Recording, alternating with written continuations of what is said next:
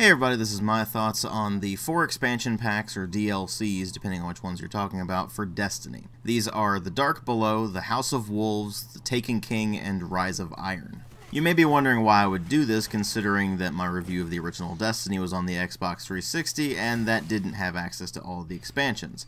Well, after I picked up my PS4, I had very few games for it, and one of the ones I ended up picking up later on down the line was Destiny Complete. It was on sale. And my main justification for picking that up was actually the fact that I knew I was going to be covering Destiny 2 at some point, and I figured that I needed to at least touch on the expansion packs before I go ahead and do Destiny 2. I actually originally planned this to be a full review of the expansion packs, but the more I played them, the more I realized that an MTO would be all I could really manage for them. And the reasons for that will actually become clear later on in the video. Now before I delve into the expansions themselves, first I want to talk about the general reception they had as well as when they actually came out. The first of the expansions is called The Dark Below. It was released in December of 2014 to a pretty mixed reception from the mainstream press and from what I've seen, the actual player base seems to think that the Dark Below expansion is outright awful. It doesn't add a lot to the game, and it doesn't really change up all that much, so it's generally seen as more of a DLC than a proper expansion pack. This is much the same with the second expansion pack, which is House of Wolves. It released in May of 2015 and was better received than the previous DLC, The Dark Below, but still not particularly well received in the grand scheme of things. Like with The Dark Below, it was generally seen as not really adding all that much to the game and being rather overpriced for the fairly minimal amount of content that it brings to the table. The third expansion, on the other hand, was much better received. It's called The Taken King and was released in September of 2015 and was basically the end of so-called Year 1 of Destiny. And unlike the previous two expansions, this actually has quite a bit of content in it, including some new subclasses, which makes it more of a proper expansion pack than simply a DLC. This was followed up by the fourth and final expansion pack, Rise of Iron, which was released in September of 2016, and was basically the end of the so-called Year 2 of Destiny. This particular expansion was only released for PlayStation 4 and Xbox One, as they had pretty much killed off the previous gen versions of Destiny by that point. The PS3 and Xbox 360 versions simply weren't being updated by that point, so you ended up with a situation where people who were playing it on the previous gen either needed to move over to the new system or just kind of live with what they had at that time. And that particular version was actually what I reviewed when I reviewed the base game for Destiny, because I didn't have any of the expansion packs on the Xbox 360 version, I just had the base game, so I only reviewed base game content and as a result, I got about the closest thing you can get to the original release of Destiny with that particular version. This brings me to something very important to mention about me going over these expansions and DLCs right now. I am looking at them in their current state, which means that they're all mixed together and it's a real pain to deal with. When Taken King was released, they put in a Spark of Light, which allowed you to instantly raise your character's level up to 25, and then when they put out Rise of Iron, they gave you a Spark of Light that instantly increases your character's level to 40. As a result, I now have three characters that I messed around with in this particular version. I have a Titan who I started from the ground up, I have a Warlock, which I bumped up to rank 40 because I had actually played that in the original Destiny review anyway. And then I had a Hunter that I put up to 25 to begin with and then went from there. If you use the Sparks of Light, it automatically unlocks all of the content that you would have normally experienced up to that point. This means that the game effectively thinks that you have already finished the main campaign, as well as, in the case of the Spark of Light for level 25, the House of Wolves and Dark Below expansions, and then in the case of the level 40 Spark of Light, it thinks that you've completed all of the content going up to the Taken King. Now, despite those missions unlocking and the game effectively thinking that you've already finished them, it does not automatically unlock the sort of achievements in the Book of Triumph. This was something they introduced in March of this year when they put in the Age of Triumph update, which was basically the transition year between the original Destiny and Destiny 2. Now, it may sound like I'm rambling at this point, but I really do need to make it very clear to you. If you jump into Destiny, the original Destiny I mean, right now, it is a complete mess. A new player is going to have absolutely no idea what the hell they're doing. And even someone like me who has played the original Destiny is going to be extremely confused because now they have all these options opening up for them and absolutely no explanation whatsoever. The short version is that regardless of the actual content of the expansions, this is an extremely terrible way to handle introducing the expansions to your game, and especially when you release a compilation of the game with all of the expansions called Destiny the Collection, and then decide, you know what, we're not going to explain anything to new players at all. Now, I guarantee you, there's already Destiny fans out there who are taking to the comments and saying how I can't review this now because Destiny 2's out and there's no new updates coming in, there's no Iron Banner anymore, etc., etc. Those same people are probably also taking to the comments to complain about how much I supposedly suck at the game because I'm not using insert weapon here, or insert subclass here, or my light level's not such and such, or I don't have insert optimization for build here, whatever the hell you want to say about it. Fact of the matter is, I really don't care what the Destiny fans have to say in this regard. I care what the game itself has to say. So without further ado, let's just go ahead and tear right into all four of these expansion packs, starting with the very first one and working our way up from there. As I mentioned before, the first expansion pack is called The Dark Below, and it's actually the tone setter for all of the expansion packs to come. I'll explain more about that in a moment, but first let's talk about the actual story behind The Dark Below. It introduces a new vendor called Eris Morn, and you find out that she was a member of a fire team that went to the moon to try to retake it from the Hive, and they failed. She was the sole survivor, and she only managed to survive by hiding out among the tunnels that are scattered all around the moon, and she, in the process, actually ended up losing her light. Somehow she managed to escape from the moon, however, and ended up coming back to the last city in order to warn everyone of the impending return of Crota, a Hive prince who is effectively worshipped as a god among the Hive. And it's actually kind of amusing because for something where they make such a humongous deal out of this, where on numerous occasions they act like Crota returning would mean the end of all life as we know it. And yet, not only was this a relatively low-level quest line for something that should be earth-shattering like that, but it consists of three missions. Four if you count the one that was put into the weekly playlist, which is something they introduced during the Age of Triumph update earlier this year.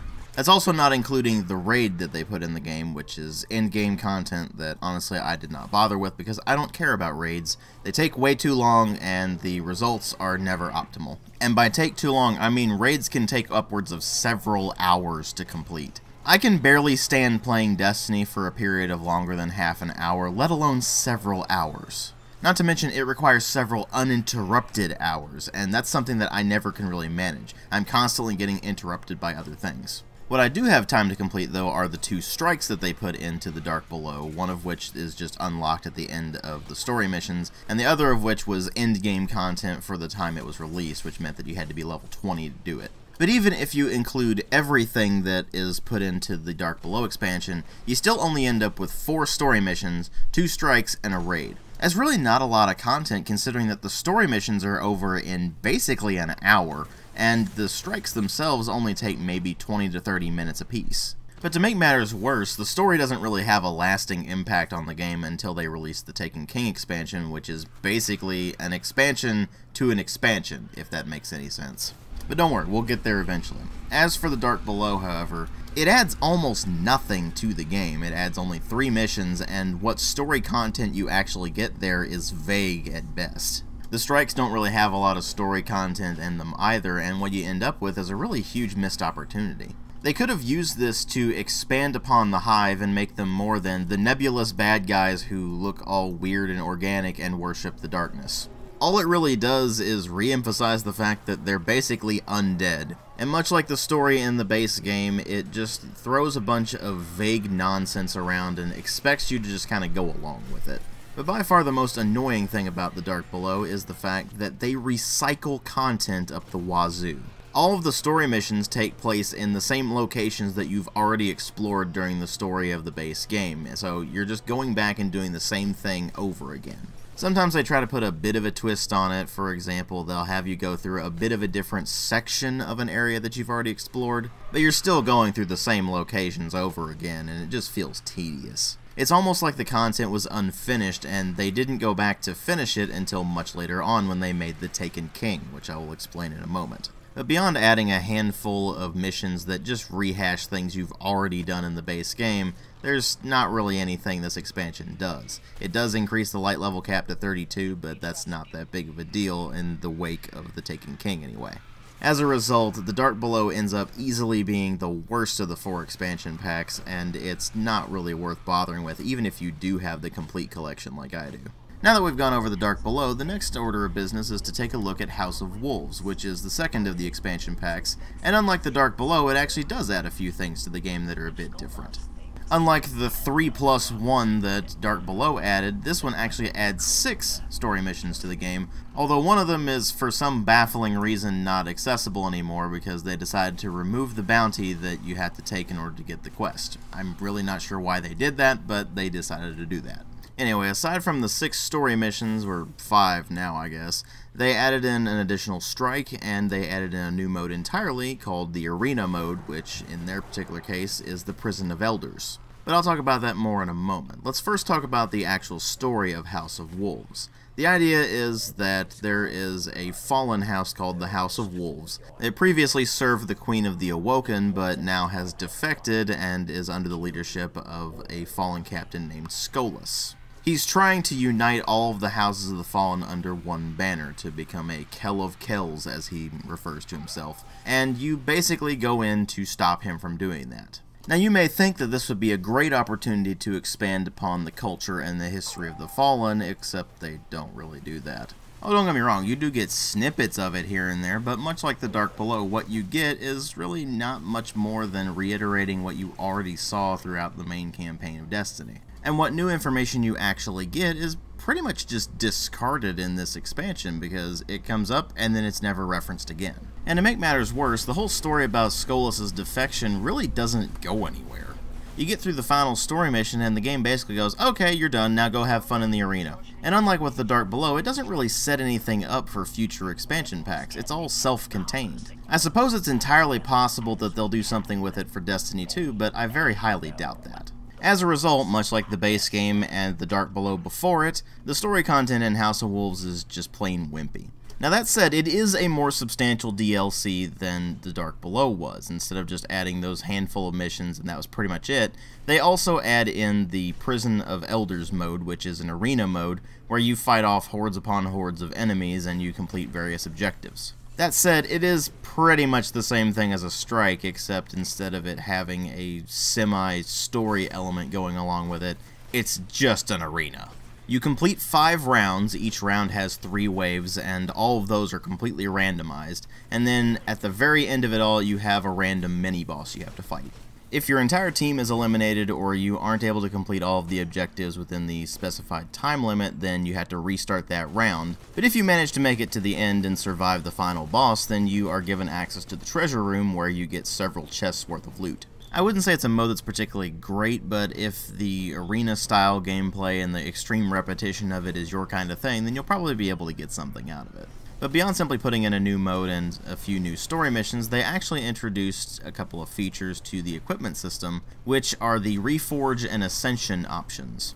Now, when the expansion was released, Reforging let you mess around with the actual perks on the various weapons, so you could swap the perks in and out, and Ascension basically pushed the weapon beyond what it was normally capable of to the maximum damage output possible. Except I don't think I can talk about them because as far as I can tell, they've actually been removed from the game entirely. Reforging let you actually swap out the perks on your weapons, and Ascending brought the weapons up to the maximum damage output possible at that time. And while I can definitely confirm that Reforging has been removed from the game entirely, I'm not sure if Ascension is in the game or not, because even if it is in the game still, then I've actually never used it and I've never had a reason to use it. So about all I can say about them at this point is that they were in the game at one point and now they're not. And this is actually a good way to segue into the Taken King, because House of Wolves is more like The Dark Below. It's a straight up DLC, and frankly the asking price for it was kind of ridiculous. For House of Wolves and The Dark Below, they charge $20 a piece for them. And especially in the case of The Dark Below, that is just insane. And even the expansion pass price of $35 was just downright absurd for these things. There just isn't enough substantial content in there to justify the asking price, whether you're talking about the expansion pass price or the individual price especially. which means that these disappointingly low on content expansion packs end up becoming downright laughable. Which of course brings me to the next expansion pack, which is the Taken King. Now Bungie was hyping this up to be a pretty major expansion pack, and it came with the major expansion pack price to boot. It was $40. So of course the question there becomes, what does it do to deserve that price hike? Well, the first thing you notice is that it has 8 story missions in it, and an actual campaign.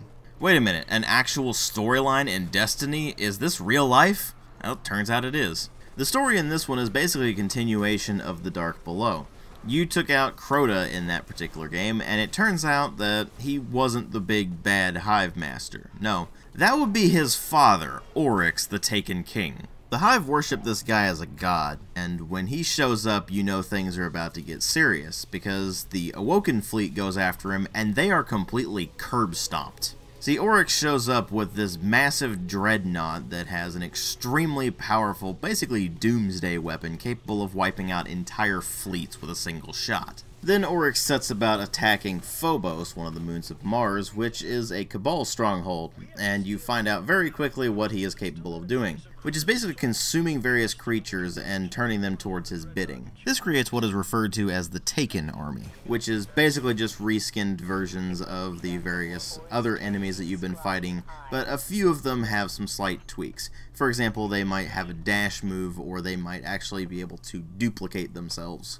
So at least there's a bit more enemy variety in the Taken King compared to House of Wolves and the Dark Below, which straight up reused content from the base game and nothing else. But it's not really enough variety to make the expansion feel radically different from the rest of the game, so that is a bit disappointing. Let's face it, we were all pretty much hoping for a large-scale expansion to introduce several new enemies, maybe a whole new enemy faction, something along those lines, and what it does here is it just rehashes things from the previous game as well as the previous two expansions. Slight tweaks or no, it's still rehashing things. But anyway, back to the story for a moment. Oryx shows up and he's there to pretty much wreck everything because how dare you kill his son. So you have to find a way to bring him down, which means that you have to establish a beachhead, so to speak, on his dreadnought, and then from there you have to track down Oryx and take him down. This is easier said than done because he's actually hidden behind a dimensional portal, because of course there's dimensional travel in this expansion, right? But anyway, something interesting and ominous is said when you are introduced to that portal, because Eris Morn, the character who's introduced in the Dark Below expansion, says,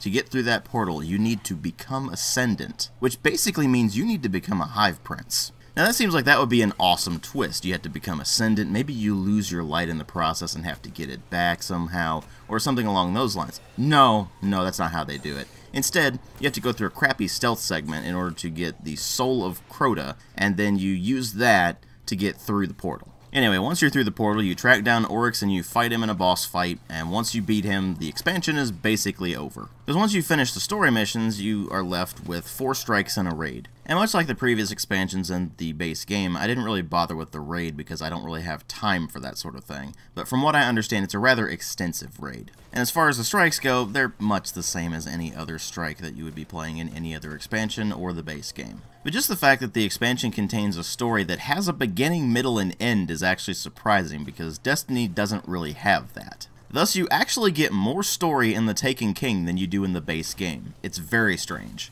But the expansion's not done there. In addition to the story missions, the strikes, and the raid, the expansion also features a new subclass for each character type, and you have to go on a quest to get that. Now, in my case, I went as the Warlock to get the Stormcaller, and the quest was a fairly underwhelming experience because it's basically just a complete pushover. You go in there, you get your subclass, and then you're given infinite super meter to just annihilate everything. It gives you a bit of a power fantasy, and I guess it is nice that you have to go on a quest to achieve a subclass instead of just it being given to you from the start, but at the same time, it is an underwhelming quest, and they could have done it better. It could have been something you actually have to work for instead of just going to a location, wiping out every ridiculously easy enemy in the path, and then just going from there. Now to be fair, I went into that with a Warlock at level 40. I imagine it would be a bit more challenging if you were closer to the actual level of the quest, but even then, it's still kind of a pushover. But then there was one very large change that Taken King brought to the table and kind of infuriated a lot of fans of this game, which is that it got a complete rebalance and 20 additional character levels. Your max light level as of House of Wolves was 34, and your max level as a character was 20. Once you hit the Taken King, suddenly your max level as a character is level 40, and your max light level is now 310. They introduced a large swath of new gear and they completely rebalanced the gear that came before, which meant that you basically had to grind and grind and grind in order to get anything remotely resembling decent gear. Now, if you jump into the game as of the Taken King, that's not really a problem because all of the gear you're going to be getting is balanced around this new system. But if you were already a fan of the game and you already had it before that expansion dropped, then suddenly you would find your gear was completely useless. And as far as I'm concerned, it is completely understandable that people were furious with Bungie for this. And to this day, you will still see people who are really bitter about that big change to Destiny as of the Taken King. Now, I have to admit that even on the Xbox 360 version, I was playing the new balancing system because they had dropped the Taken King, it completely revamped all of the levels for everything, and I never really knew what the level system was like before the Taken King dropped. Hence me saying in my review of that that that was about the closest I could get to the original base Destiny. You can't play the original Destiny anymore because it doesn't exist. That's kind of the danger of it being an online only game. They can implement whatever changes they want at any time, and it can completely break or salvage the game, and you wouldn't know it if you were going into it after those changes were made. It's both a blessing and a curse, and I really can't tell you how it actually factored in for Destiny because that's all I've known as I've played it. Perhaps some longtime Destiny fans can explain how they feel about it and what actual changes were made in the comments, because unfortunately I can't. Now that said, as far as the raw content of the expansion goes, and as far as the scope of what changes were made goes, The Taken King is actually the best expansion that was released for the original Destiny. Is it worth $40 though? No. At most, I'd honestly say it's worth maybe 25 or 30 bucks. And that's me being generous, considering that a lot of the content used in this is basically recycled with a different skin on it. But of course, Bungie wasn't really done with The Taken King. They had one more expansion pack in store for us, which was Rise of Iron. This was also a high-priced expansion pack, all things considered. It was $30, and it introduces a new storyline centering around the Iron Lords, which were the predecessors of the Guardians. You may think, sweet, we're going to see some more backstory, we're going to learn more about the history of the world of Destiny. No, no, you're not. You're going to get a glimpse of backstory, which is that, oh hey, the Iron Lords all sacrificed themselves except for one who was out of the way at the time, in order to contain this technology called SIVA, which is basically self-replicating nanotechnology that consumes anything it gets in contact with. That's really the only backstory you get about the Iron Lords. It's just that they were the Guardians before the Guardians were a thing, so they're the hipster Guardians, basically. And you end up having to become a new Iron Lord in order to contain SIVA as it comes back when the Fallen unearth it. Much like the previous expansions and much like the base game, they could have gone so far with the story here, except they chose not to. Again, I'm reminded of the speaker, I could tell you, and then there's the implied, but I won't. Or my personal favorite, I don't have time to explain why I don't have time to explain. Seriously folks, the writing in the original Destiny as well as its expansions is just awful in that regard. But regardless, you get 5 story missions and you complete it in maybe an hour. At least that's about how long it took me to complete the storyline. They also introduced three new strikes and a raid, because you gotta have one of those for everything, so obviously, like in the other cases, I did not play the raid, I can't really speak for it. Now that said, the Rise of Iron content is really not all that great. It doesn't do all that much to change things, all it does is really increase the light level cap up to about 400, and introduces a new social hub called the Iron Temple, as well as a series of things for the Crucible. And going purely off of the amount of content here, there's no way in hell it's worth 30 bucks. It's worth no more than the Dark Below or House of Wolves expansions, and even those were overpriced. Add to that the bonus factor of between The Taken King and The Rise of Iron, the PS4 and Xbox One versions actually separated from progression from the PS3 and Xbox 360 versions, because Rise of Iron was never made available on the previous gen consoles, only on PS4 and Xbox One. This means that not only did you have progression that stayed consistent throughout both consoles, so you could actually take your character from the Xbox 360 version and bring it to Xbox One, and PS3 to bring it to PS4, for example. Now you can't do that. Instead, you have to set up a whole new character on the PS4 or Xbox One versions if you want to play Rise of Iron. This was basically the death knell for the previous gen console versions, and this was the final expansion pack that they released for Destiny. They also introduced the Age of Triumph update, but I'm not going to talk about that really.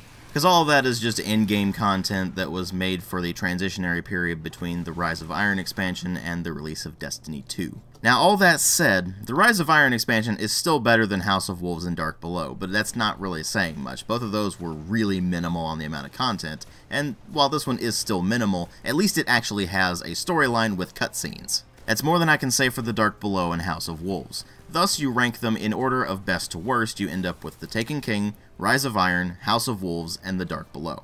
But the sad thing is, of those expansions, the only one that's really worth having as far as I'm concerned is The Taken King. Rise of Iron may have its own mini storyline, but it's just that, a mini storyline, and the amount of content it has on offer is fairly minimal. Now you may be going, but DW, what about the Crucible maps? Because all of the expansion packs came with Crucible maps and you didn't even mention those. You're right because I don't care about the Crucible. Because nobody cares about the Crucible.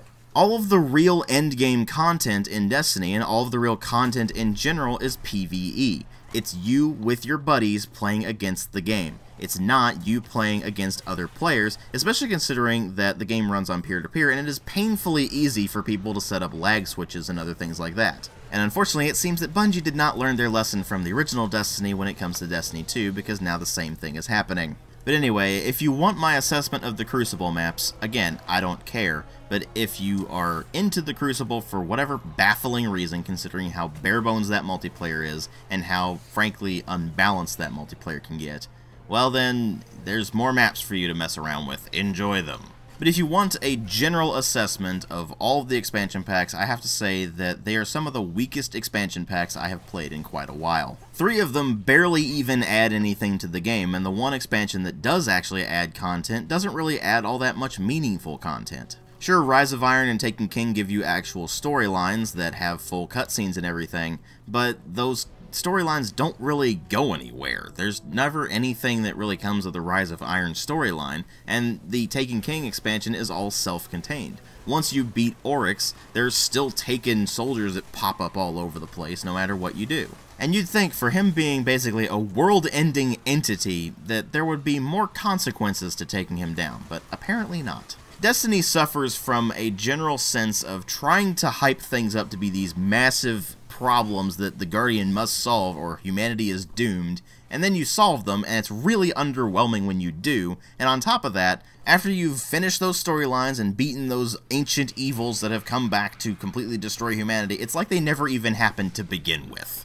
It is extremely disappointing, and as a whole, I have to say that the expansion packs are just not worth it unless you are an absolute die-hard Destiny fan, in which case I have to question your sanity because the entire game is a monotonous grind when you get down to it. It barely has any story to it at all, and what little story it does have is extremely underwhelming. The endgame basically consists of grinding for better gear, and when you finally hit max light level, there's basically nothing for you to do. I mean, you could hop into Crucible, but that's a very weak multiplayer experience. You could go on raids, which take hours upon hours and net you almost no loot at all, or you could just replay the content that you've already played through. And the sad part is that when you get down to it, that content that you've been grinding is just not that good to begin with. Depending on who you ask, the definition of insanity is doing the same thing over and over again and expecting different results. I guess you could say I'm insane for trying out the expansions in this and expecting them to actually do something a bit different with the game,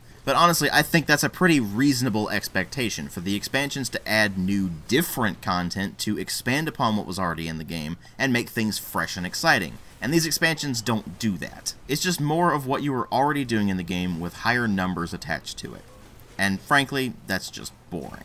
I hope you understand by this point why this is an MTO rather than a review. I can work with a game that pisses me off, but Destiny doesn't do that. It just bores me. And I have no real desire to play any of the raids, I have no desire to play the Crucible, and thus, for those particular segments of the expansions, I really can't speak for them because I have no interest in messing around with them at this point. So I did the next best thing. I completed as much of the PvE content as I felt I could, which was the story missions and the strikes. And since that's the meat of the expansions to begin with, as far as I'm concerned, that's enough for me to at least give some degree of an assessment on them. And I wanted to get through the story content of Destiny Plus's expansions before I got to Destiny 2, in order to see if any of the stuff you do in the expansions has any impact on Destiny 2. And from what little I have played of Destiny 2 thus far, I have to say that the expansions don't seem to have had much of an effect. But we'll see. I have quite a bit to go through in Destiny 2 before I finish the game, so I'm not sure if it'll be the next review or not. It most likely will not be. But now that I have this video up, I can go ahead and delve right into Destiny 2, and it should be one of the next few reviews. So stay tuned for that if you're interested, but as far as the expansions for Destiny go, I simply cannot recommend them. Thanks for watching. I'll catch you all in later videos.